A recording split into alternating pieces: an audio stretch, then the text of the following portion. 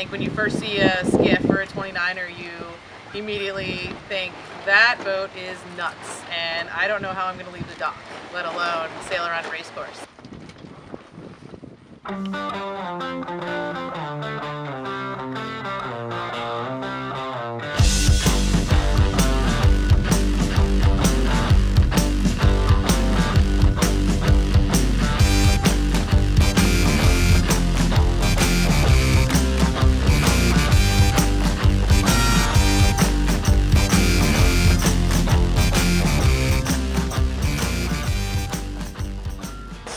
Super great opportunity for basically people to say, okay, great, I've, I've learned,